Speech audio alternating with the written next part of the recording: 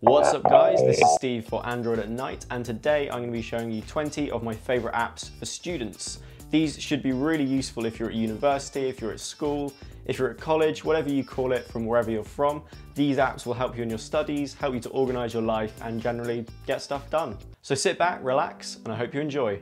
First up we have Evernote and this is my favourite note-taking app of all time. I love the fact that you organise everything into notebooks. It's a really easy way of doing stuff once you get used to the user interface. So for example you can see here I've got stacks of notebooks. So if I go into YouTube stack, I can click that and you can see I've got three different notebooks within that stack.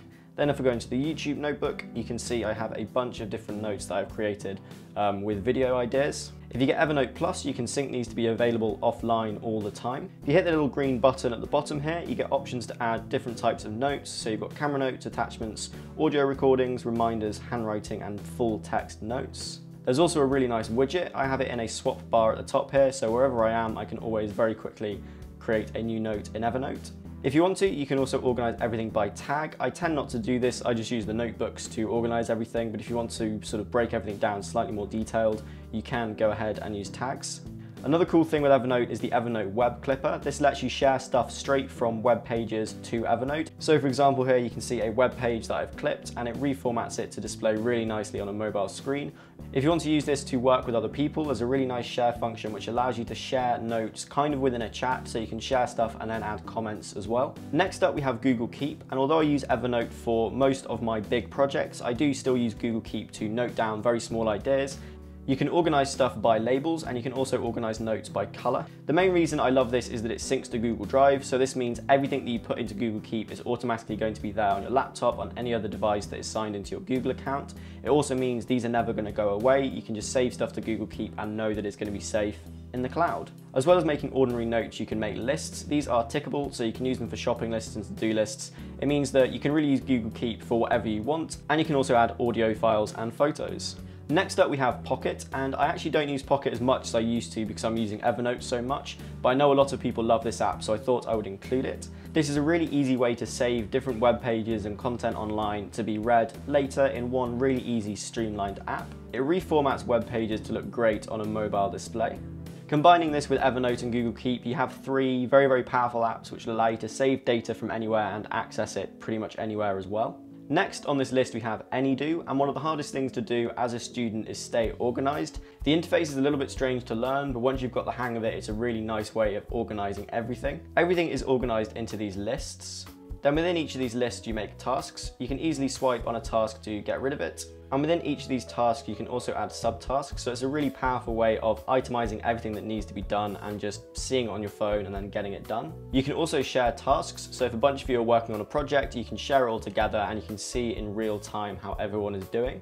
Next up we have CamScanner and this is a really powerful app which will turn your phone into a mini portable scanner. This works best for plain text on a white background. So you scan an image in using your camera. This will then flatten the image and increase the contrast. So it makes all those grainy photos you've got of textbooks and printed handouts and things like that a little bit more legible. It will then also let you save them as a PDF and let you share them with your friends. Another really powerful feature it has is OCR Recognize. This pulls the text out of anything that you've scanned and makes it searchable within the app. If you do need an app to turn paper into documents, then CamScanner is definitely one for you.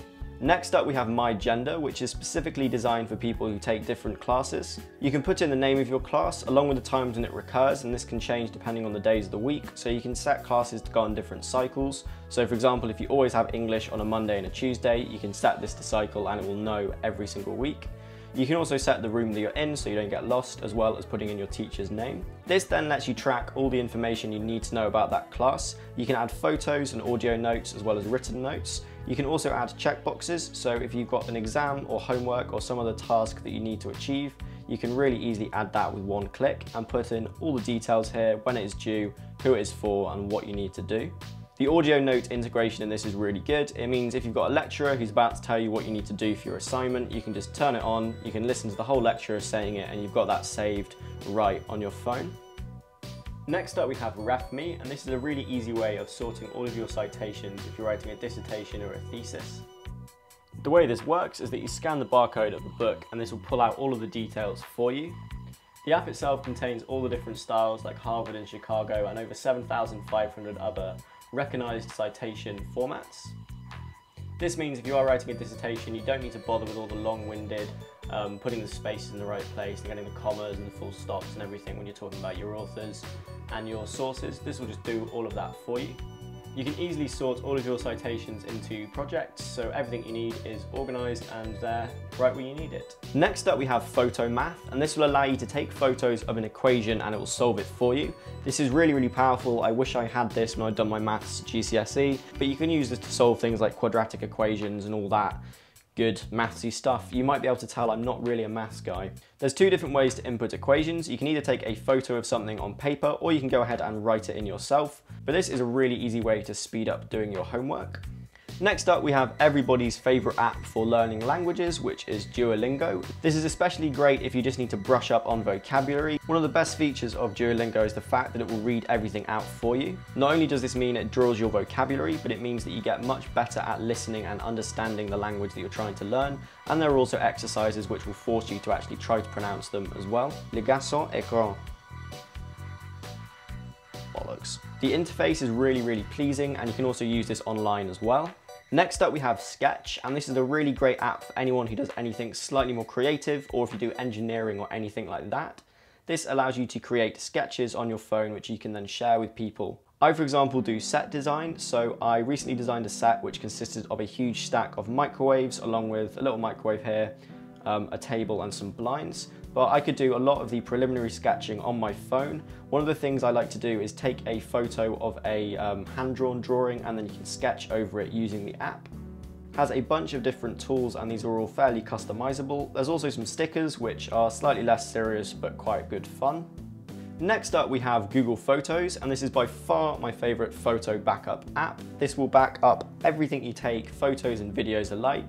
You can set it to only do it over Wi-Fi so you don't hammer any of your mobile data. You can then use this little option here to free up space. This will remove the items that are both synced to the cloud and saved to your device, so all your stuff will still be safe and in the cloud, but it won't be clogging up your phone.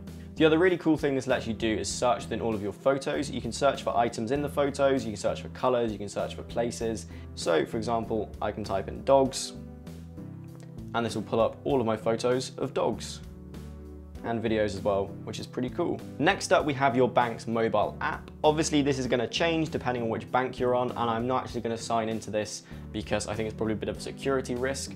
But banking apps are really, really useful if you are going into college, if you're going to university. It allows you to send money to other people. You can set up recurring bills and things like that for houses. And it means you can actually check your balance on the go really quickly. Money is one of the big issues of becoming a student. You've got a student loan. It's the first time you've sort of been away from home and you're buying everything yourself and having your mobile banking app on your phone is going to be really, really useful.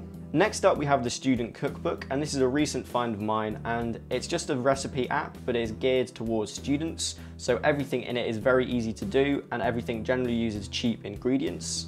It will give you everything you'd expect, like estimated cooking times, lists of ingredients, how many people the meal is going to serve. The really cool thing about this app is that it has this thing called cook mode. This basically takes you through step by step everything you need to do and simplifies the user interface. So you can just put this on the side where you're cooking and you literally just go through step by step. It will give you details of what you need to do and then it also has a built-in timer as well. Next on this list is Headspace. This is a secular meditation app. It's really useful if you need to calm down. If you get this into your daily routine, it will really help you sort of put everything into perspective I never thought I'd be into anything like meditation, but having used it last year during my exams, I have to say it's actually really, really useful for just getting some headspace if everything is getting a little bit overwhelming. There is a free version which teaches you the fundamentals and the basics of meditation. And then if you get the paid version, there are a bunch of different packs. So you can focus on things like health or relationships, you can focus on patience, creativity, and things like that. Next up we have 7 Minute. Now as a student quite often you're not going to have the amount of time that you want to go to the gym or maybe you don't have the money to spend to go to the gym. 7 Minute is a really easy way to get a workout routine set up just using your phone. In the free version, you've got a classic seven minute workout, which is predominantly cardio, but there's some push-ups and stuff in there as well. And there is also this thing called the 30 day challenge. The app will track all of your usage so you can see how much you've been working out over the months. And if you pay for the premium version, there are some other packages to unlock as well. Next up, we have native clipboard, and this just adds a whole bunch of extra functionality to the clipboard on your phone. This clipboard is then accessible when you're typing. All you need to do is double tap on an empty space and it will pop up down the bottom. You can go ahead and tap on any of these and it will insert it into your document for you. You can also long press on these and then you've got options to edit them and then you can also pin them so they'll be constantly saved and you won't accidentally delete them from this clipboard. If you're doing stuff like writing on your phone, this is really useful. It means if you copy something to your clipboard and then accidentally copy something else, you're not going to delete the original, you've got it here exactly where you need it to be. Next up is Monospace, and this is a really, really simple writing application. I tend to use this for doing creative writing more than anything else. However, you can see here I've also been doing some blog post type of things as well. You've got two different themes. You've got a light on dark and a dark on light. The thing that is beautiful about this is it completely simplifies everything down to just the bare bones. You can organize everything with hashtags to make it easily searchable and easy to find. And if you select the text, you get an option for all your different formats. If you are looking for a simple, lightweight writing app, then Monospace is a really, really good option. Next up we have Google Allo, and this actually isn't going to be for the social aspect and using it as a messenger service. This is the power that you get with Google Assistant. If you are doing any sort of assignment and you need to get information quickly, Google Assistant is kind of like Google Now, but I think slightly more powerful. Not only can you search for stuff and it will understand you and give you relevant information back, but you get all of this saved in your feed. And if you are using it for research or something like that, you've got all of your research right there in one sort of search pane that you can easily copy down into Evernote or whatever you want to do with it. Next on this list we have Pocket Casts and this is great for either entertainment or learning. I subscribe to a bunch of different podcasts and really the power of this app is going to depend on how many you're subscribed to. I have a couple that I used to use for literature stuff, so there's a Bardcast one which just talks about Shakespeare, or the sort of the history of literature. This means if you're walking to class, if you're just going for a wander anyway or going for a jog, you can have all of your podcasts with you at all times. You can download any podcast you like to listen to offline. If you want to listen to podcasts before you go to bed, you can set it to automatically fall asleep after a certain amount of time. There's also these two options here, which lets you skip back by 10 seconds or skip forward by 30 seconds. This is really useful for skipping over adverts and stuff like that in podcasts. It also has this option here called volume boost, and I found this really useful if you're using cheaper headphones and you're listening to not as well recorded podcasts. This is a really easy way to make them actually much easier to listen to. Next up we have Alarmy, and this is my current favorite alarms app for Android. The really cool thing about this is you can choose different turn off methods. So you can make it so you have to take a pre-recorded picture. So for example, I have to walk into my bathroom and take a photo of the sink. You can also make it so you have to shake it a couple of times to turn the phone off. You have to answer a math problem or you have to scan a QR code. Now I am going to be doing a video in the near future on different uses for QR codes and this is definitely one of the best. This means if you have important classes in the morning or you're just not a morning person, then you can force yourself to actually get out of bed and get stuff done. And then finally on this list we have AirDroid 3. This is a really easy way of getting files from your phone to your laptop wirelessly. This is obviously really useful for things like photos and documents. It'll also mirror all of your notifications to your laptop. So if you are working in the library or something and your phone is in your bag, or if you're in a lecture and your phone is in your pocket, you can respond to all of your notifications on your laptop. The other cool thing that this does is allow you to completely mirror your phone's screen. Now this is not yet perfect, it's still kind of in beta, but this will let you put your phone's home screen on your laptop and control it with your mouse. So there you are guys, I hope you enjoyed that list. Those are my favourite student apps of 2016. Let me know in the comments below if there's any other apps you would recommend for studying, for student life, for anything generally, any useful apps that you use every day. Please go ahead and like this video if you've enjoyed it. You can subscribe if you haven't already. Please do follow me on all my social media whatnots with the links in the description. And as always, I will see you guys in the next video. Peace.